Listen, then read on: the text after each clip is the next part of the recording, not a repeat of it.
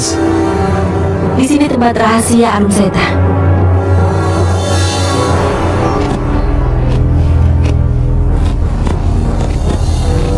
Gua apa ini kakang? Seram sekali. Mana aku tahu. Aku saja baru pertama kali datang ke gua ini.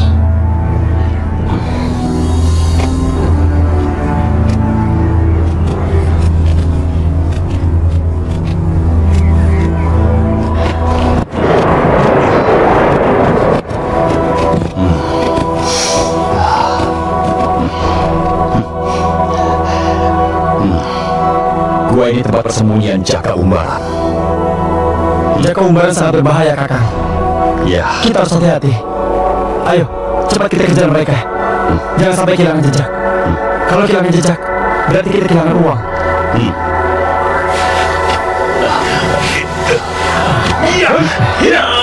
Suara orang bertarung.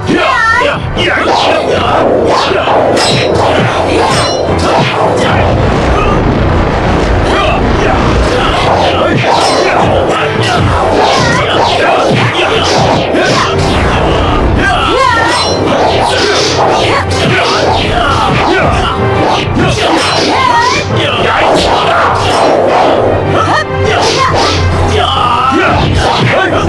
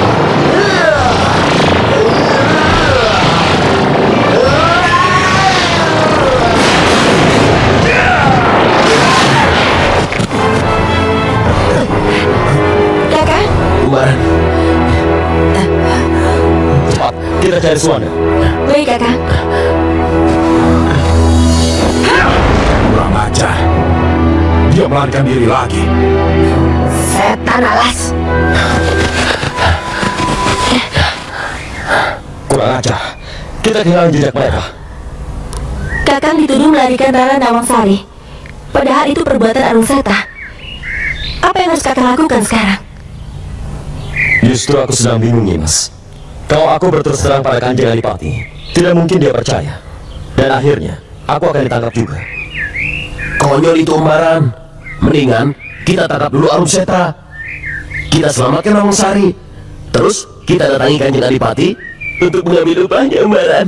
Edan kau-kau. Kenapa umbaran? Apa saya salah? Bukan karena upah kita menolong putri Kanjeng Adipati, tapi karena kewajiban kita kau. Kewajiban sih kewajiban. Tapi kalau perutku kurik terus, apa salahnya? Eh, demi, demi, Demi apa? Demi perutku umbaran. Habis dari tadi kukuruyuk terus. Kukuk aja. Ngaco kamu. Aku merasa penasaran. Mari kita tanyakan penemuanku ini pada Ki Gede Sidik. Ki Gede Sidik. Oh iya, aku ingat sekarang. Saudara seperguruan guru kita kan? Sama paman guru saja lupa. Untuk apa kita ke tempat paman guru nih, Mas? Beliau paham masalah keris. Kita tanyakan, siapa saja yang memiliki pusaka Simo Kalmunyang? Dengan diketahui pemiliknya, kita akan melacak tengkorak siapa yang mati di dalam gua itu. Betul. Kalau begitu, sekalian saja kita cari tempat persembunyian Arum Seta untuk merebut Awang Sari. Benar itu umbaran. Sebab kalau tidak, kau akan dituduh sebagai penculiknya. Dan kau diuber-uber terus ke mana saja. Hmm. Ayo umbaran, biar nanti malam kita sampai di padepokannya. Ayo umbaran, ayo, Baiklah, ayo. ayo.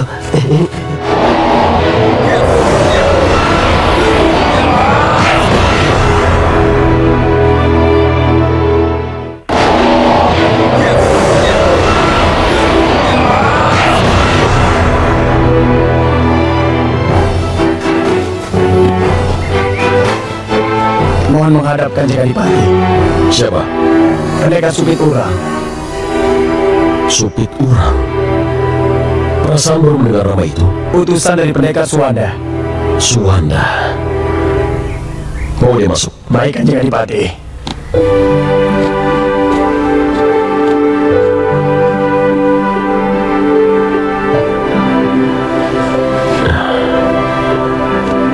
Aneh. Kenapa Suwanda sendiri yang tidak datang kemari? Kenapa malah mengutus orang lain? Apa dia tertangkap orang-orang Bintoro Demak? Tidak Kanjeng Adipati. Suwanda masih tetap sehat. Kau yang bernama Subit Urang. Betul. Sebelumnya hamba ingin mengucapkan salam dari pendekar Suwanda. Beliau yang mengutus hamba untuk menjumpai Kanjeng. Betul. Aku membutuhkan pertolonganmu. Pertolongan apa Kanjeng? Putriku diculik oleh Jaka Umbaran. Tangkap dia. Jika kau berhasil, ada upah yang besar untukmu. Jaka Umbaran. Siapakah dia? Rupanya bukan pendekar terkenal, sehingga hamba tidak mengenalnya. Memang tidak terkenal, tapi ilmunya sangat tinggi. Bahkan dia berhasil meloloskan diri dari kepungan para penggawaku. Untuk menangkap Jaka Umbaran, hamba harus punya bekal Kanjeng.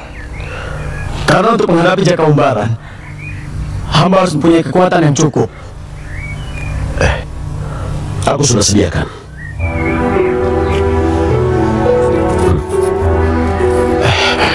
Terima kasih Kanjeng. Kanjeng Adipati, Nyibira, Gembong Karangkobar, bersama murid-muridnya mohon menghadap. Kebetulan sekali. Kau tunggu di sini dulu.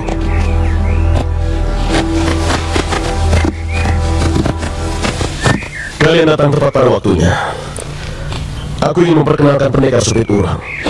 Dan dia bisa diajak kerjasama untuk menangkap Jaka Umbaran. Pendekar Supit Urang.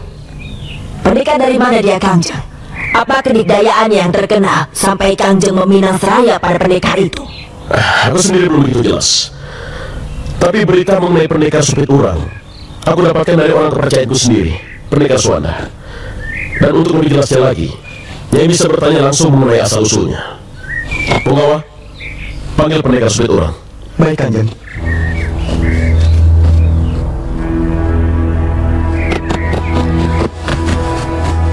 Maaf Kanjeng, Mana dia? pendekar Supit Urang sudah pergi Kanjeng. Sudah pergi. Iya, Kenapa dia pergi tanpa seizinku? tidak tahu Kanjeng.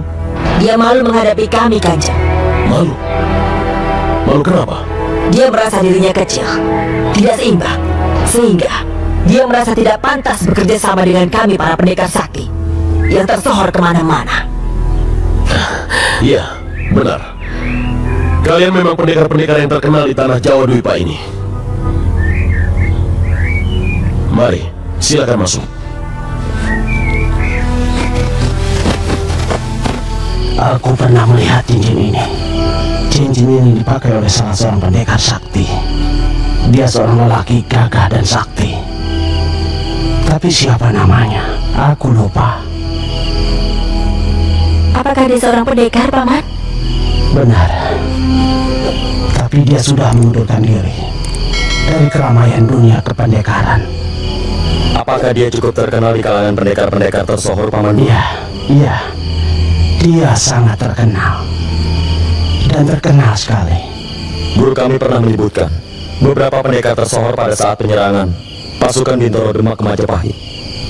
Para pendekar ternama yang berjasa pada waktu itu adalah Arya Panarukan, Satria Banjaran Selawi, Arya Solandana yang akhirnya bergelar Ki Gede Manikmaya, dan Satria Poputan dari Jepara. Cukup. Ah, ya. Aku ingat sekarang. Siapakah dia, Paman?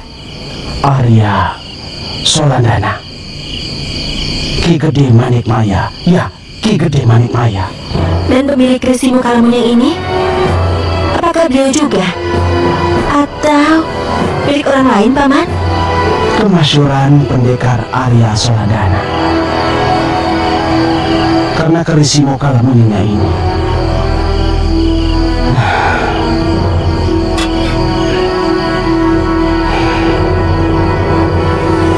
Dari mana Anana dapatkan keris ini?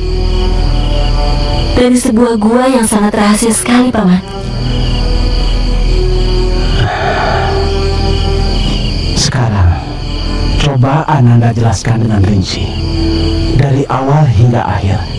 Dan jangan sampai ada yang tertinggal. Semoga dengan ceritamu ini, aku bisa menunjukkan sesuatu yang belum Ananda ketahui.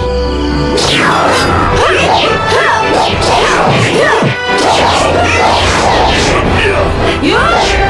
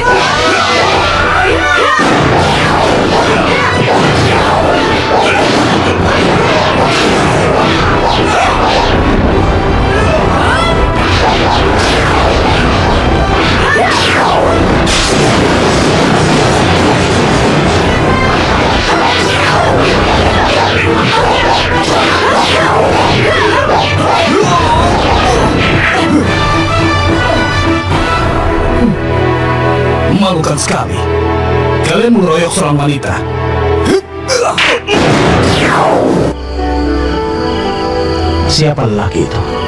Arum Seta. Ananda ditipu oleh si Aruseta. Yang menyebabkan Ananda pingsan. Itu pasti asap beracun kelabang ireng milik si Aruseta. Dan bukan Bujawati atau Jalan Loyang.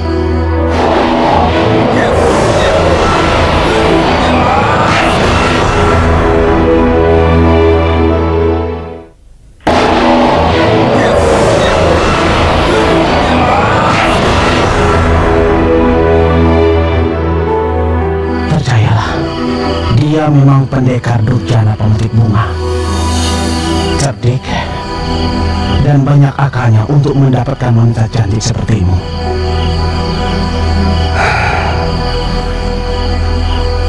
Lantas, bagaimana selanjutnya?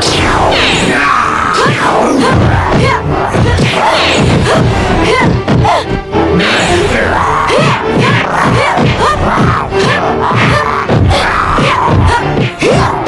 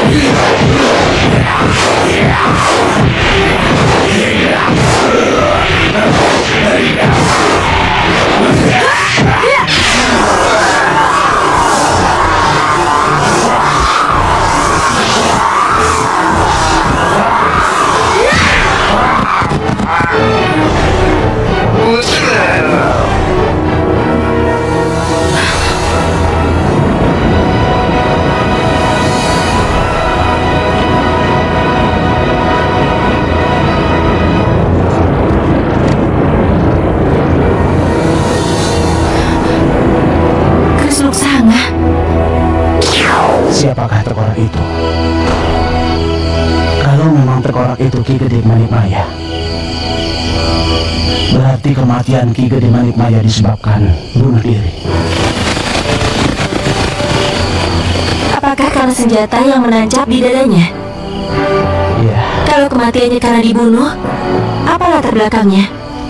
Karena benda pusaka. Yaitu Krisimo Kalamonya masih ada. Dan cincin itu pun masih utuh berada di jarinya. Apakah cincin itu termasuk berharga, Paman Guru? dulu ada tiga benda pusaka yang menjadi rebutan para pendekar. Satu pusaka Krisimo Sikalamunying. Dua,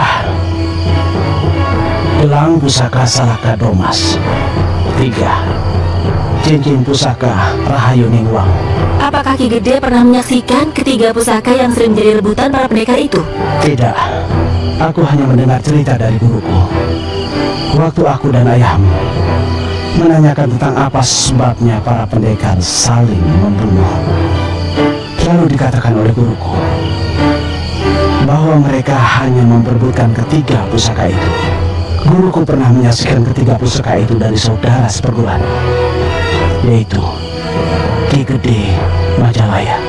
Maka hingga sekarang aku bisa menjelaskan bahwa cincin dan keris ini mempunyai ciri dan sifat yang dimiliki cincin pusaka Rahayu Ningwang dan keris Simo Kalamunyang.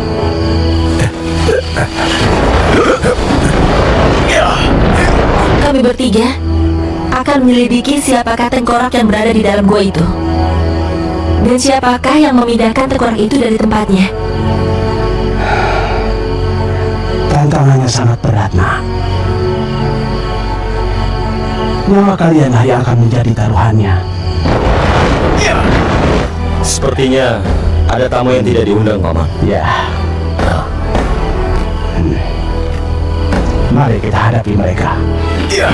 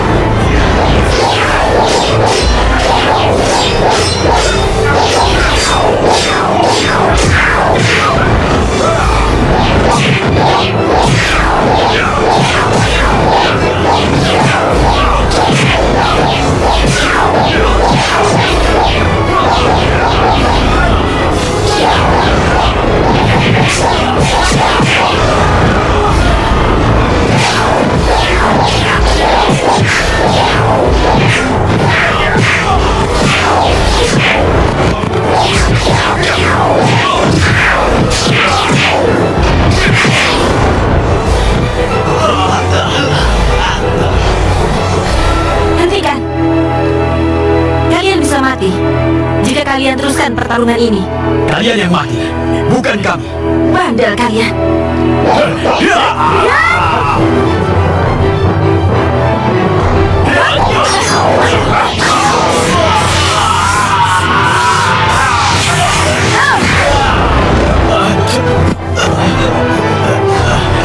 Ampun, ampun. Tolong jangan bunuh kami. Kami terima kalah. Siapa yang menyuruh kalian? Eh, Tidak ada. Kami pemburu upah dari Kanjeng Adipati. Baik. Kalian akan aku maafkan. Sekarang cepat tinggalkan tempat ini.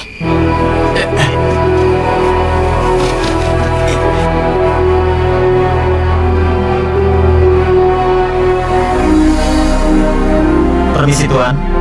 Pesan apa Tuan? Eh, tolong siapkan dua botol arak ya. Ayo cepat. Baik Tuan. Eh, pesan apa juragan? Tuak dua kendi. Eh, baik. Hmm. Ini pesanannya Tuan. Golok ini, Kenapa kakang? golok ini terbuat dari besi pilihan. Tapi begitu gampang dipatahkan oleh Ratna Anjali. Sakti benar orang itu. Bukan Ratna Anjalinya, Kang. Tetapi keris si Mukalamunyanya yang sakti. Seandainya kita bisa merebutnya semalam, kita juga akan menjadi orang yang sakti mandraguna. Jaka Umbaran dan Ratna Anjali harus kita pisahkan dengan Ki Desidik. Jika kita ingin merampas dua pusaka itu. Kau kenal dengan dua laki itu, Kang? Kelihatannya mereka orang dari utara. Orang pesisiran. Dia membicarakan keris Mukalamunyung yang dimiliki oleh Ratna Anjali. Bagaimanapun caranya, kita harus merebut pusaka-pusaka itu, Kakang. Iya, Si Mukalamunyang sudah lama lenyap. Tapi gelang salah Kadomas. Apa mungkin muncul lagi? kalau dua lelaki itu membicarakannya, berarti keris Mukalamunyung telah hadir kembali di tempat ramai.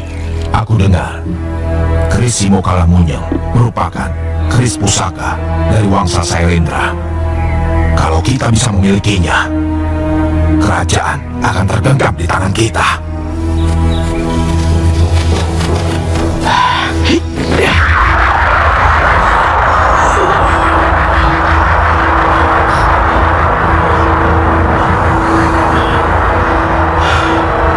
Bukan main.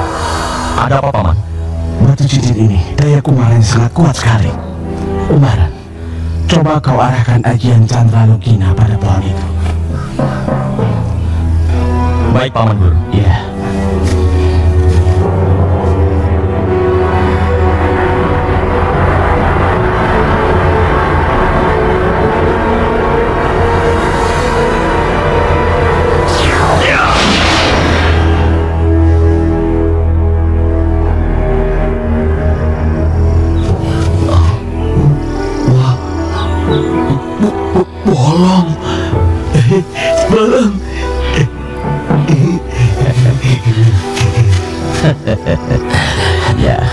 Hebat Jaka Umbaran, Guru.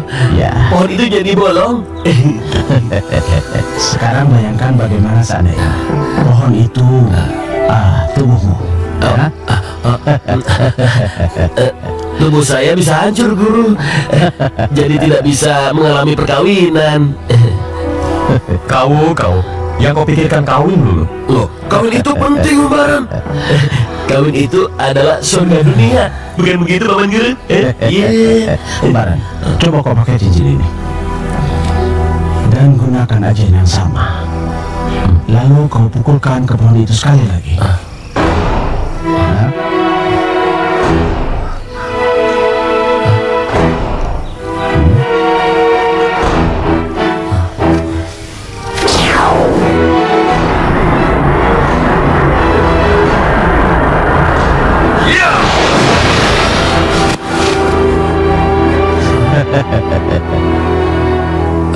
Wah, sungguh dahsyat sekali.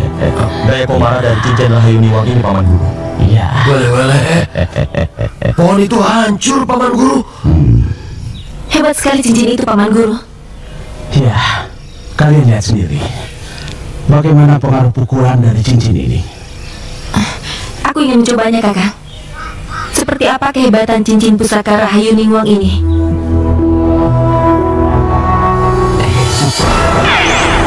Apa?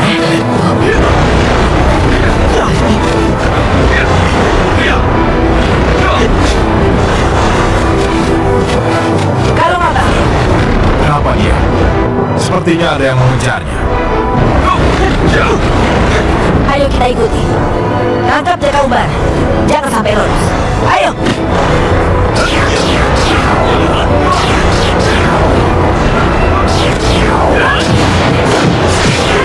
Fire!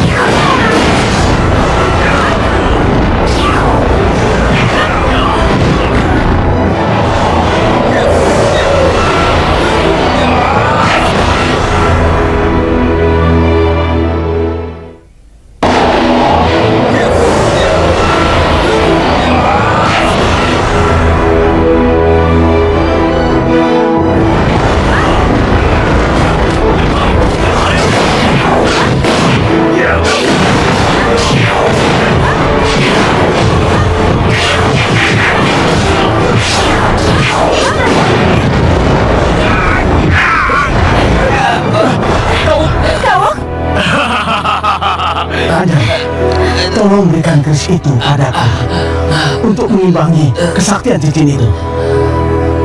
Cepat Anjali.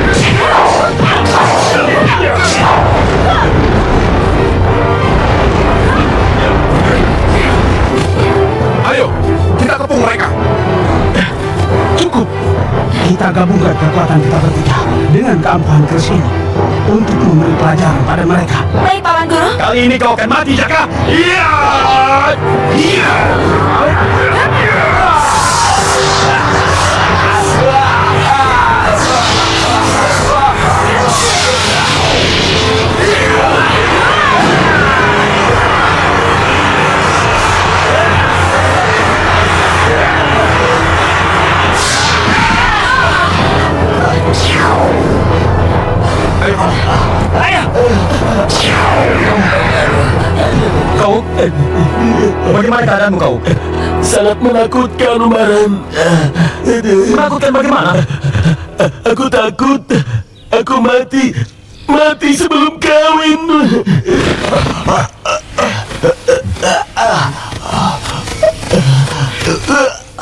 Apakah mereka mengejar kita? Sepertinya tidak, Guru. Sekarang kita mau ke mana? Kita cari penginapan. Muridmu harus segera diobati. Dia terluka dalam. Aku punya kenalan di sini. Kita ke rumah Ki Kuhusawi saja. Ayo, kita segera ke sana. Ayo.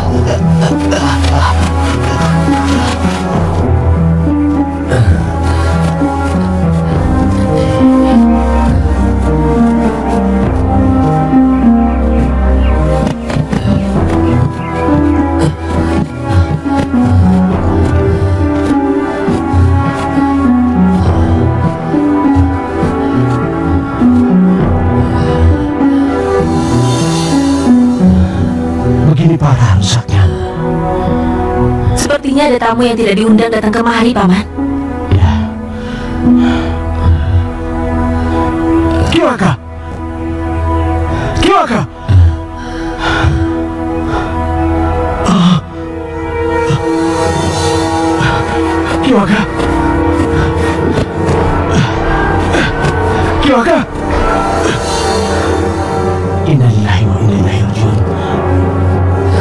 Siapa yang telah membunuhnya?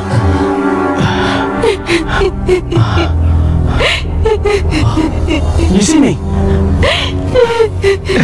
Di sini! Di sini! Apa yang terjadi? Ketewasan, Ki Gede. Ketewasan. Tenangkanlah pikiranmu dulu. Apa yang terjadi? Nyi Taryoma dan Nyi Kunti Kenapa istri dan anakku? dibawa dua orang yang mengamuk di rumah ini. Di bawah? Mana mungkin? Bukankah istri dan putriku sedang pergi ke rumah uaknya di di di, di Sindasari? Di bawah? Di bawah bagaimana? Tadi pulang lagi karena ada barang yang ketinggalan. Mereka pulang saat rumah ini sedang sedang dimasuki oleh dua laki-laki yang mengamuk dan tidak dikenal. Keduanya memaksa dan membawanya pergi. Ayo. Jangan! Ayo turun. Ayo. Siapa kedua orang itu, Nyi? Datang-datang menanyakan Ki Gede. Kami sudah jawab tidak tahu. Tapi keduanya mengamuk, Nyi. Semua barang dilempar. Dan... Kiwaka. Kiwaka dibunuhnya, Nyi. Dasar manusia biadab. Siapa kalian? Aku istri Gede Sidik dan ini putriku.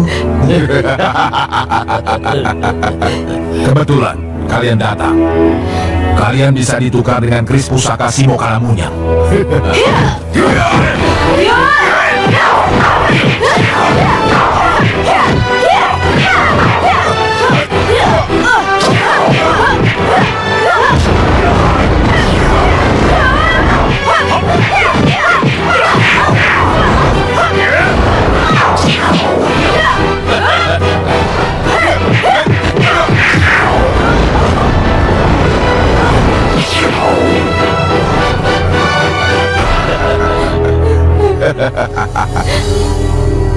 Bagaimana Ki?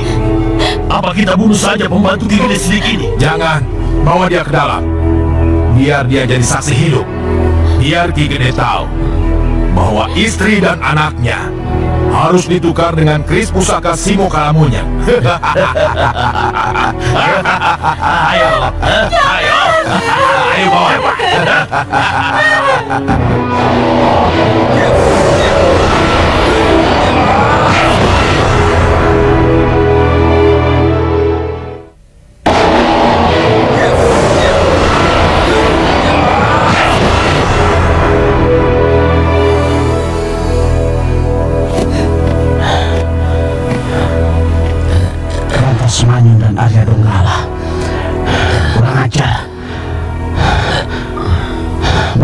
besar.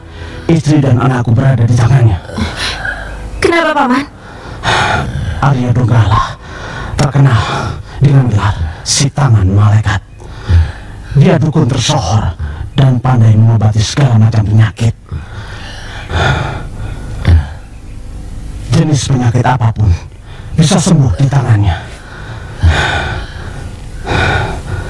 Tapi sayangnya, dia dukun cabul.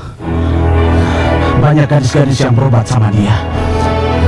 Selalu dijadikan korban nafsu binatangnya.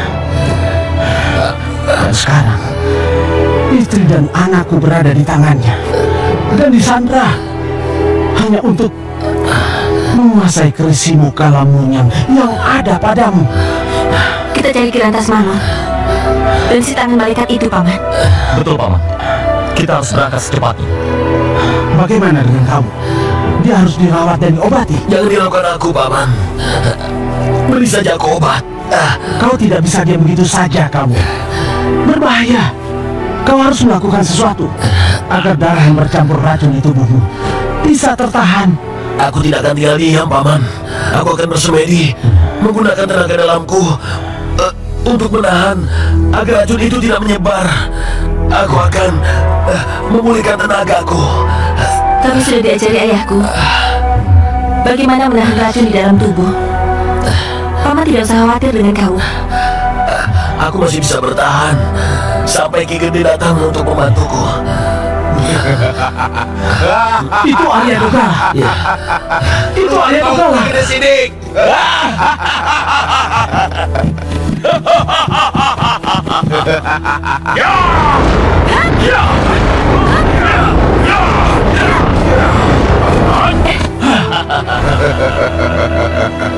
Cepat kalian lepaskan istri dan putriku. Sabar Ki Gede, sabar. Melepaskan gampang, tapi ada aturan mainnya. Betul. Istri dan anakmu pasti selamat. Asal kau penuhi permintaan kami. Permintaan apa? Apa pembantumu di sini belum mengatakan tentang tuntutan kami? Jangan banyak bicara. Cepat katakan. Apa yang kalian minta? Krisi muka lamunya. Dan cincin pusaka Rahayu Ningwang. Berdebah. Aku tidak mempunyai kedua pusaka itu. Ini dia. Aku yang mempunyainya. Cepat, berikan keris pusaka itu pada kami, Nengayu. Ditukar dengan nyawa istri anak Ki Gede Sidik yang sangat kuhormati. Jangan Anjari. Tidak pantas manusia busuk ini mendapat keris pusaka Simo Kalamunya. Aku khawatir mereka akan menjadi perusak yang sangat menakutkan. Diam kau sidik. Jangan ikut campur urusan kami. Gadis ini yang akan menyelamatkan istri dan anakmu. Jangan Anjari. Jangan. Aku peringatkan jangan. Keras kepala. Jangan coba-coba melangkah sidik. Kalau kau tidak mau istri dan anakmu menjadi mayat, cepat Serahkan keris pusakamu itu padaku, Nengayu. Kau akan mendapatkan pahala karena kau telah menyelamatkan dua nyawa dari kematian. Baik. Lihat ini. Ayah,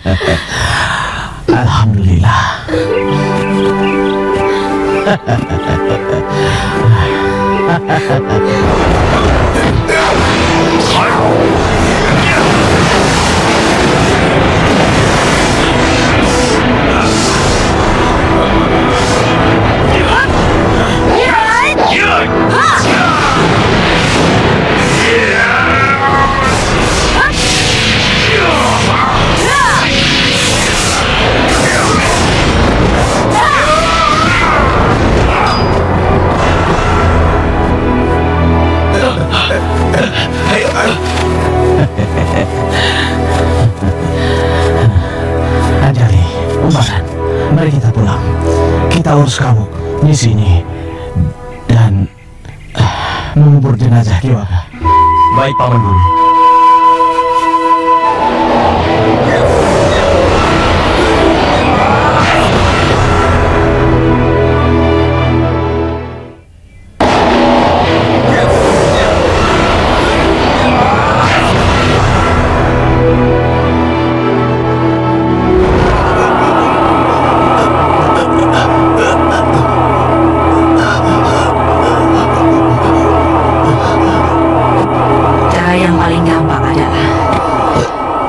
Kau dekati Jaka Umbaran Pujawati. Mendekati bagaimana, Guru? Sewaktu kau bersama Jaka Umbaran, Guru lihat kau naksir Jaka Umbaran. Ngawur itu, Guru. Guru pernah muda. Guru tahu gadis mana yang sedang kasmaran. Kau sebenarnya cemburu dengan Ratna Anjali, iya kan? Aku ingin dia mati.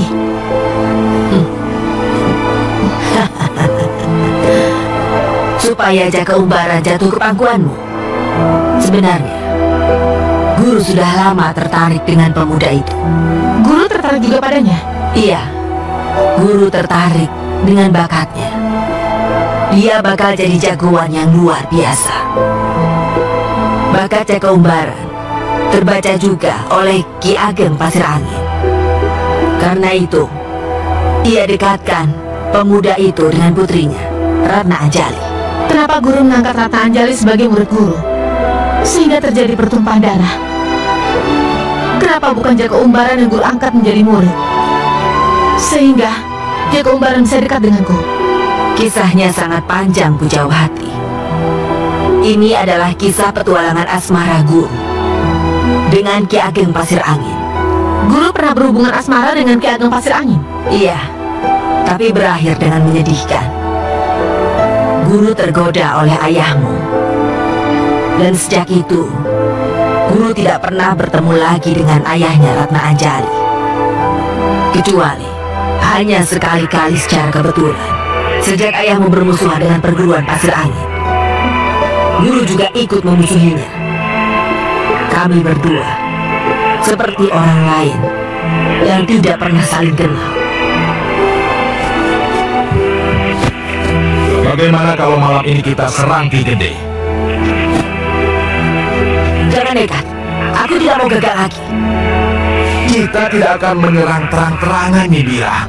Itu bunuh diri namanya. Kita serang secara gelap. Setuju. Tapi kita tunggu dari Kiku Wosawi untuk menyelidiki Ki Gede Sidik.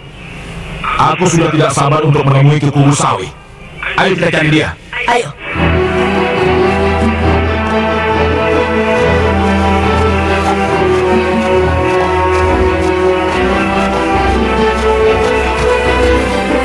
Bagaimana Ki Kuwu? Berhasil? Tidak sia-sia kakak membayar saya. Apa yang Kiku lihat? Selain kita, ada orang lain yang menginginkan diri Jaka Umbaran, Ratna Anjali, serta pusaka yang dimilikinya. Siapa? Siapa dia? Kirantas Mani dan Arya Donggala. Si tangan malaikat itu. Betul nih. Ada satu lagi. Arun Seta. Arun Seta. Hmm. Si bajingan tengik itu ikut ngerecoki urusan kita, Ki. Kalau perlu kita cari dia. Kita tumpas duluan. Siapa kamu? Aku. Aku Arun Seta. Kamu musuh bebuyutanku. Kau harus mati. tidak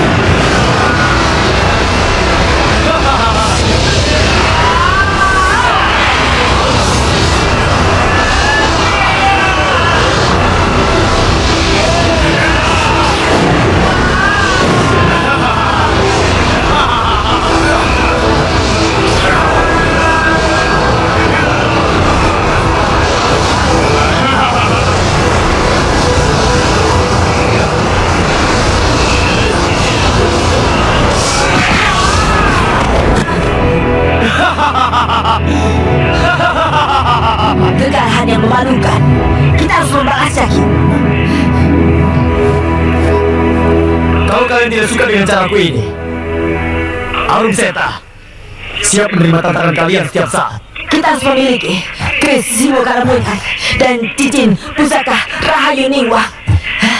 Arum Seta, tunggulah pembalasanku. Oh, yang Batara! Yang Batara! Kirimkan pasukanmu. Para lembut dan dua panas pati. Cepat hadir.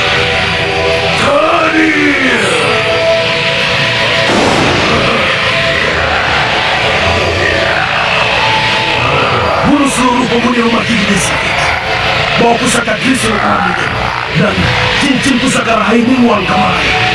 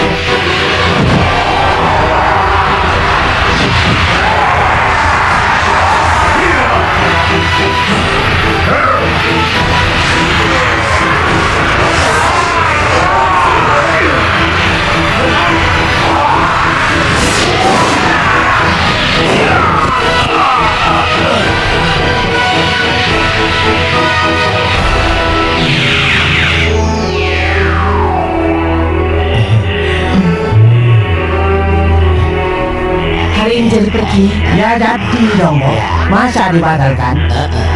Karena eh, hati saya tidak bisa dibohongi. Dari kemarin, selak, sebur, selak, sebur. Kenapa? Makannya di sini tidak enak. Eh, tidak, bukannya begitu. Kalau tidak enak, masa dimakan? Eh, masalahnya, eh, jadi khawatir kalau di rumah Ki Gede, eh, Jaka Umbaran, Ratang Jali dan Kabu sakit begitu.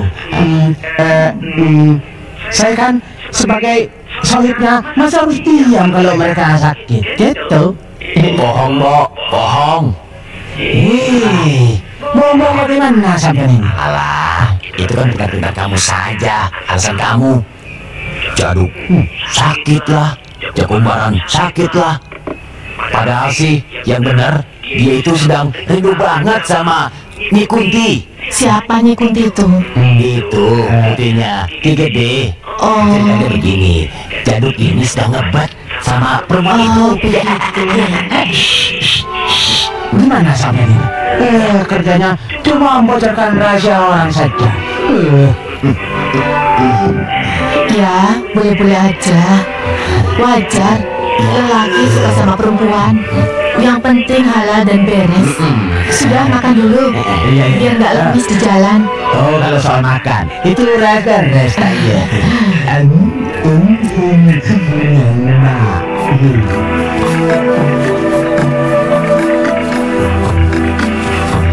Ada apanya? Lihat di depan. Kita harus segera sampai di rumahnya Ki Gede. Iya. Aduh. Mereka yang dicari Kanjeng Adipati. Karena lari dari tahanan. Ah, sampean ini ngos-ngosan. Ayo cepat jalannya, nanti kesorean. Mereka ada hadiahnya. Kalau begitu jangan buang kesempatan. Kita tangkap sekarang. Ayo,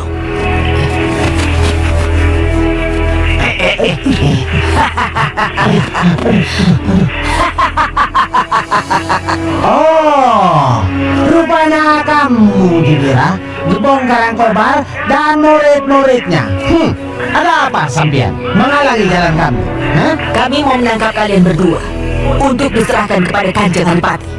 Mereka bukan tandingan kita. Lebih baik kita lari, cari bantuan. Ayo cepat, cepat, ayo, ayo, ayo.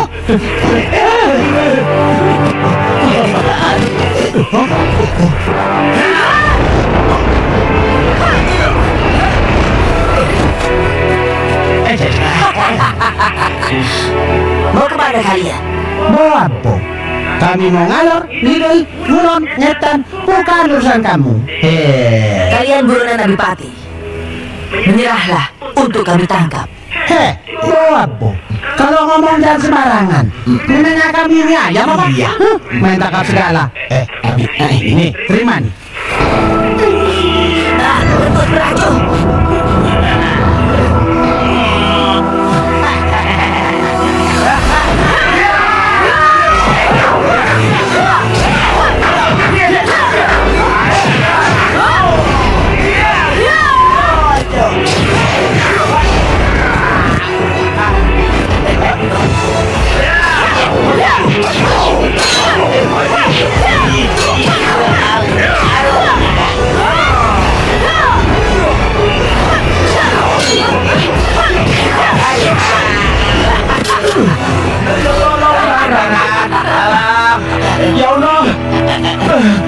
Mana umbaran? Ya tolong umbaran.